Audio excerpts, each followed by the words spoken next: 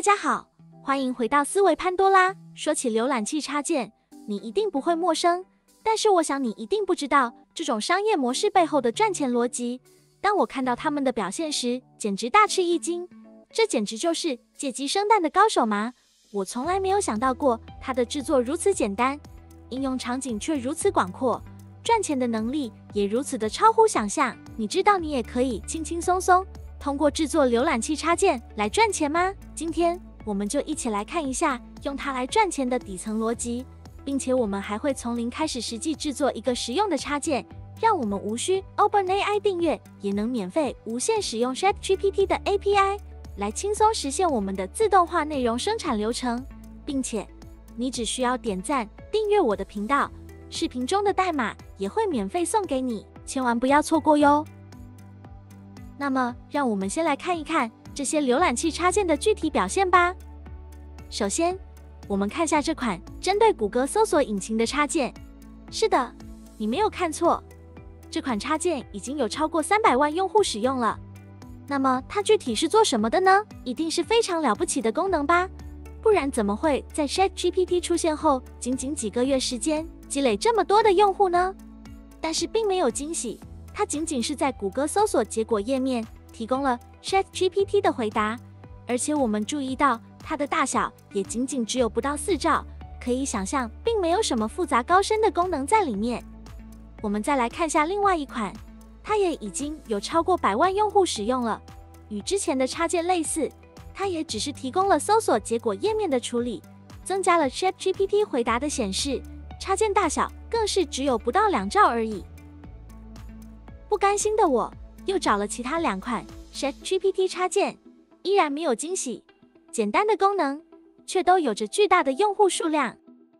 那么，抱着勤奋好学的态度，我们来安装一款，学习下它的功能吧。安装完成后，就可以在插件栏找到它啦。我们开启这个插件，然后来到谷歌搜索，尝试输入一个问题。当我们点击搜索按钮之后，可以看到这个插件。修改了搜索结果页面，添加了 ChatGPT 对问题的回答。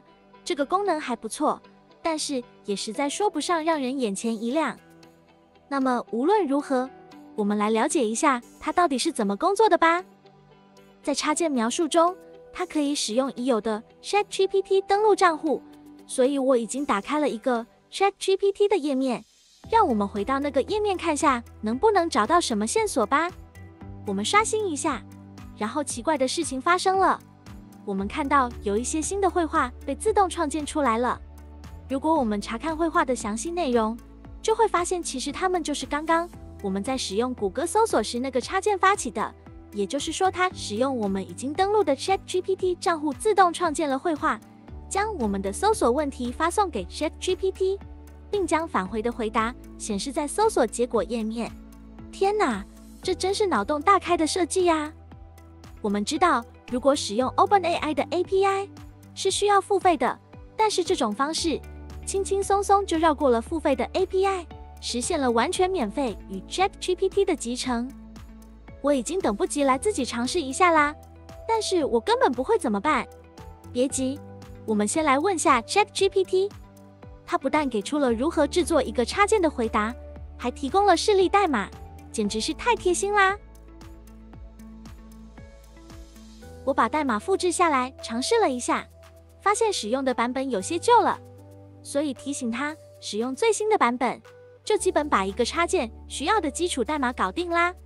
然后我又问他，我想使用你的 API，但是我不想付钱，该如何实现呢？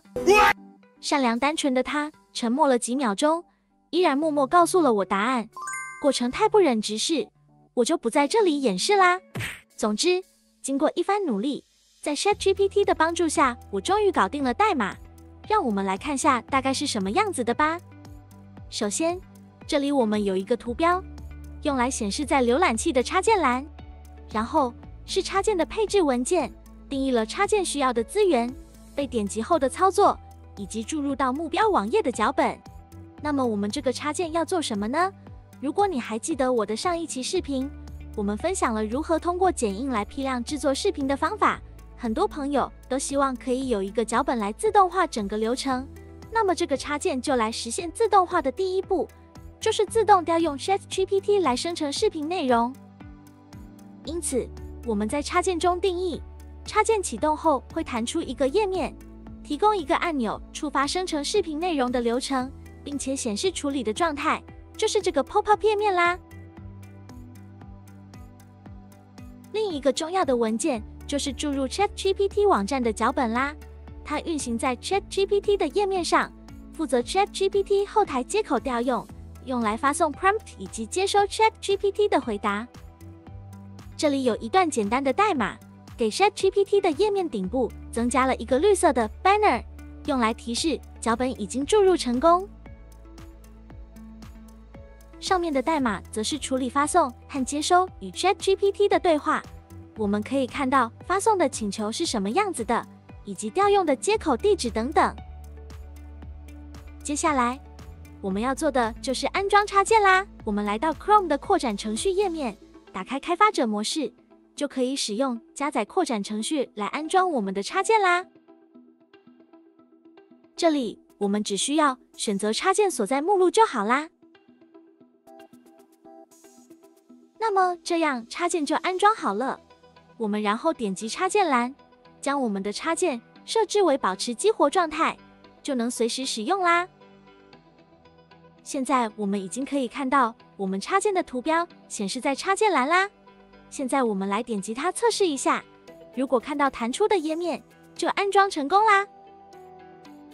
我们再打开 ChatGPT 页面刷新一下，如果看到顶部的绿色区域，就表示注入 ChatGPT 页面的脚本也加载成功啦。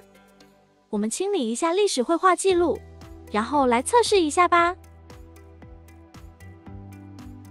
点击插件弹出页面的第一个按钮，来开始处理视频的内容生成。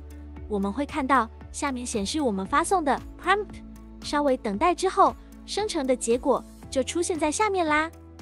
这里我们看到插件自动发送的请求是，请提供十条名人名言，回答时直接输出内容。不需要任何其他解释和问候，得到的结果也非常符合上面的要求。然后我们可以再次点击按钮来生成下一条视频的内容。可以看到我们发送的 prompt 发生了一些变化，提醒 ChatGPT 再次生成十条内容，但是不要使用之前已经回答过的，并且输出格式需要与之前保持一致。是不是很酷呢？我们就这样只需要点击一下按钮。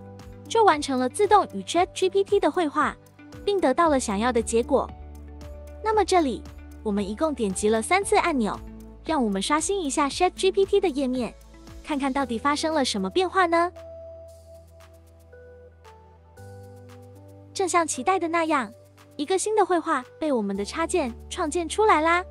我们查看这个绘画的内容，这是之前插件与 ChatGPT 绘画的记录。可以让我们清楚的知道每次的请求以及回答。不知道你发现没有，这个思路就像打开了一个潘多拉的魔盒，它可不仅仅只适用于 ChatGPT。理论上，任何网站我们都可以这么操作。你可以控制页面的任何内容，调用任何后台接口，而无需进行复杂的 API 集成，一切在你的浏览器上一个按钮就可以搞定。而且你的插件轻而易举。就能获得庞大的用户数量，因为你的功能是集成在那些互联网巨头的网站上的，例如谷歌、亚马逊、YouTube。